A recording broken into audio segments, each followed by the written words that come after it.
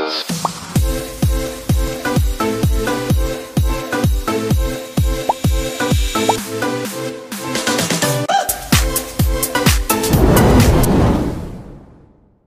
Hi guys! Welcome to my channel, Leisure Travel Vlogs. For today's video po ay ko sa inyo ang maaari nating puntahan pag inabil nyo po ang land tour ah, dito sa Boracay. So, pakita ko po sa inyo ang mga beaches na pwede nating puntahan kapag nag-land tour po tayo. So, huwag na po natin patagalin. Let's get it on! Okay guys, first destination po natin is sa Mangroves. So, punta na po natin guys yung lugar po. Okay, so eto po, ah, tatawid lang po tayo gamit ang ah, tulay na ito. Ayan, makikita nyo po ang mga mangroves po dito. Or ah, tinatawag dito isa bakawan. Ayan.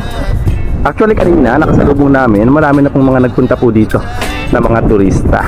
So, medyo malayo-layo naman ito. Ayan yung ah, pinaka sentro. Pwede tayong picture po doon.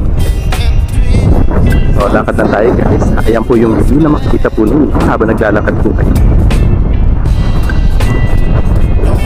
Ayan. Hindi mainit ngayong ah, araw. So, napakasarap maglakad po. So, ayan guys. ah, napakaganda mong ka-picture po dito.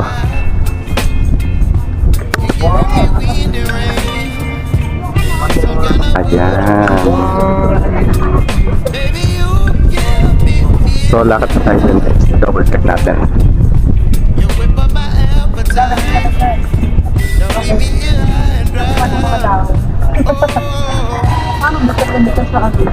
Paano ba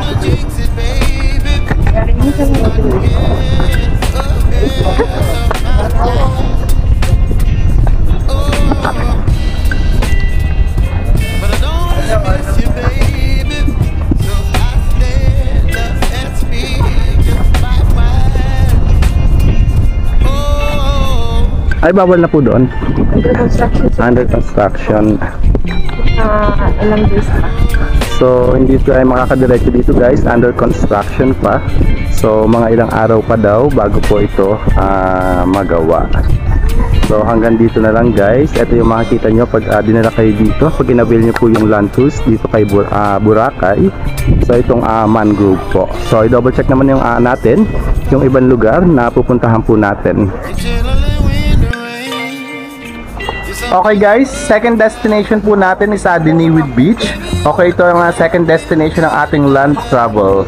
So, takita ko sa inyo yung buong lugar. Iikot po natin ng aking camera.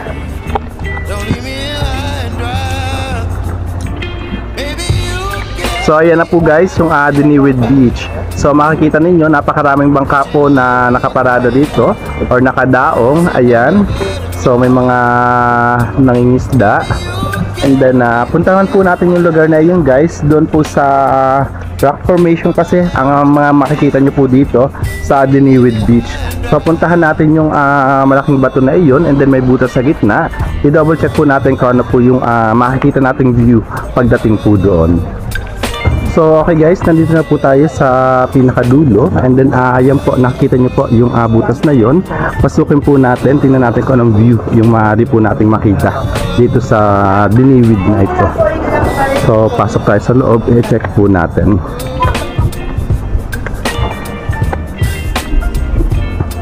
Ayan. So pagpasok natin dito, ayan. So wow, ang ganda ng mga rock formation po na makikita nyo po dito. And then ah, napakaganda ng view dito po sa uh, po. Ayan po yung view na makikita nyo po dito. Napakaganda ng ah, rock formation. And then ah, makikita nyo po, ayan po yung tubig is ah, napakalinaw talaga. So check po natin doon, lakad tayo sa banda po doon. Check natin kung ano yung meron.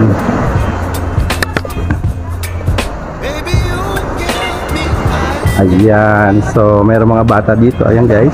Ah, may nakalagay. Okay, gumagawa sila ng ah, Boracay gamit ang buhangin. So, ayan po guys.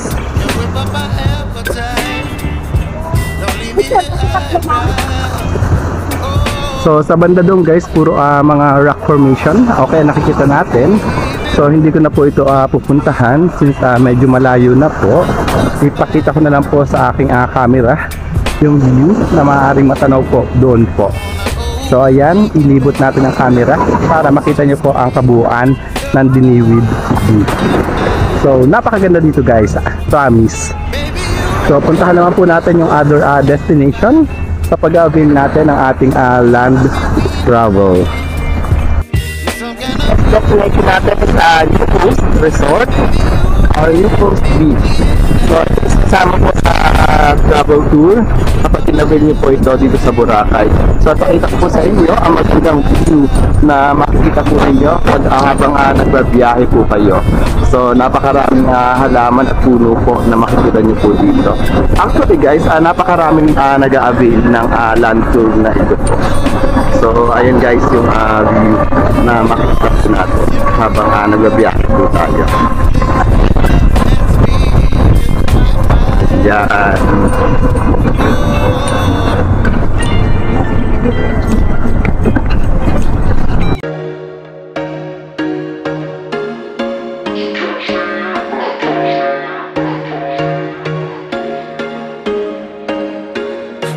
Once a day that I would pray for you. I'd go and misbehave just so you'd notice too. Sneaking looks up and down from across the room. And Damn, what a hell of a view. I feel good, you look great. I like you, I can't wait. A first time, a first date. You're so fine, I'm so late. You sip wine, I drink straight. Don't waste time to my place. I feel my heart erase so catch me if I fall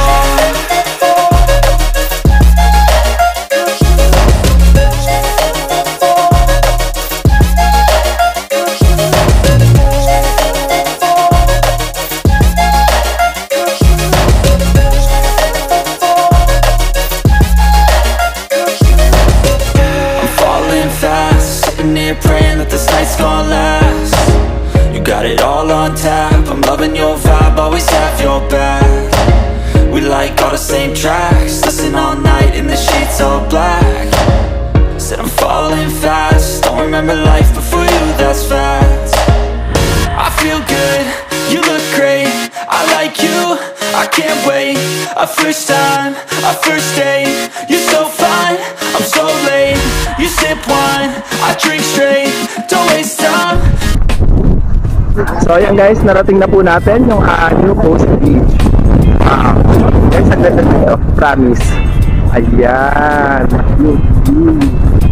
Napakaganda. Ayan po. Ah, dagat.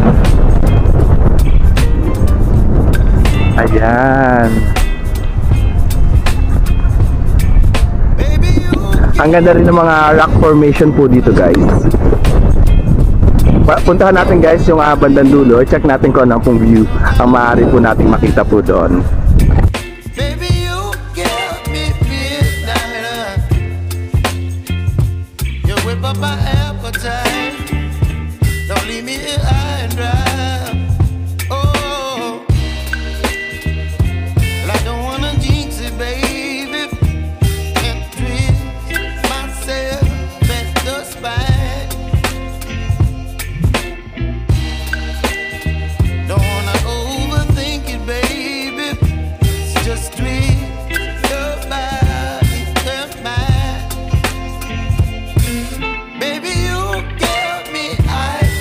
Okay guys, last destination po ng ating land travel is Apuca Beach dito sa Boracay. So libutin na po natin ang lugar and then double check natin kung gaano kaganda. So ito po, ang makikita po ninyo, pwede kayong bumili ng mga souvenirs and then uh, more on shells ang mga pwedeng mabili po dito. Ayan, ang ganda. So, check naman po natin ang lugar. Ayan po. And then, uh, pure white sand dito po sa Puka White Beach. And then, napakaganda po ng ah, lugar na ito talaga guys. Ang sarap sa mata. So, time check is uh, 5.10. And then, ayan po, marami pa rin pong uh, naliligo dito sa beach na ito. Ayan. So, ayan po. Maganda doon po guys. Is makita niyo po. Is napakalawak na uh, Maraming naliligo pa rin po. Ayan. So, pwede po guys, ah, magkaroon na activities. This is yung kayak. Yan po. So, usually naman po dito sa kayak is ah, 100 pesos lang alam ko kapag nag-rent kayo dito. Kuya, magkano yung rent sa kayak? Magkano? 250 Hindi siya 100 peso. Ilang minutes yun?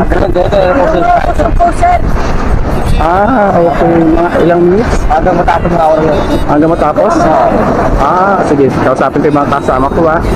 So, ipakita ko muna sa inyo guys yung beach. Ayan. So, sobrang sobrang tubig guys. So, dito sa ating mga napuntahan, ito po yung napili ko para po ah, maligo. So guys, uh, bago po tayo magtapos, uh, please subscribe na po kayo sa aking channel and click the notification bell button para dito po kayo sa aking mga upcoming, upcoming gala. So dito na po tayo nagtatapos guys. Salamat. Bye.